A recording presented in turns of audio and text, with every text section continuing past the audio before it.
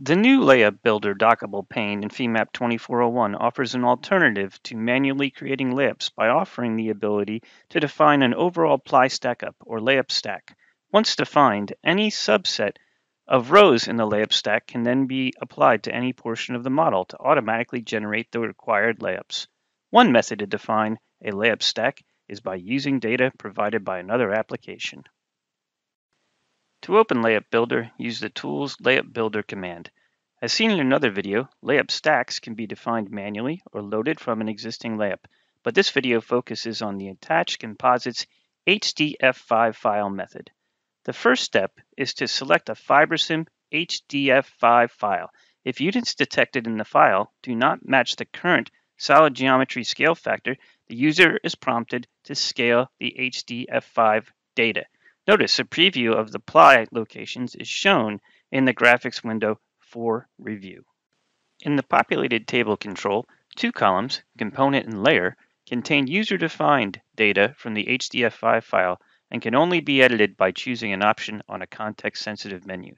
The material, thickness, and columns in the orientation section are all set to From Composites HDF5.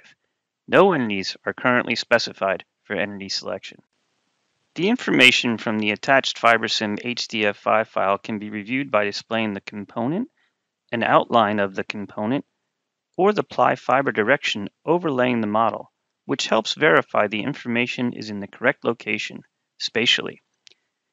It is now time to select entities, which can be done on a row-by-row -row basis using a context-sensitive menu, but is better accomplished in this workflow by using the Select Mesh from Composites HDF5 info command. Simply select which elements to consider, then entity selection will be done automatically. To review which elements were selected for each row in the graphics window, turn on the Show Preview Mesh Info option and select various rows. Once satisfied that everything is applied correctly, the final step in the workflow is to use the Build Layups command. Once the layup building process is completed, FEMAP will provide feedback on the number of properties and layups that have been created and ask if it is okay to update the model.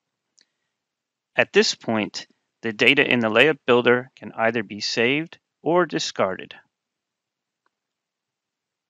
Finally, individual properties can be reviewed if needed, perhaps using the model info tree.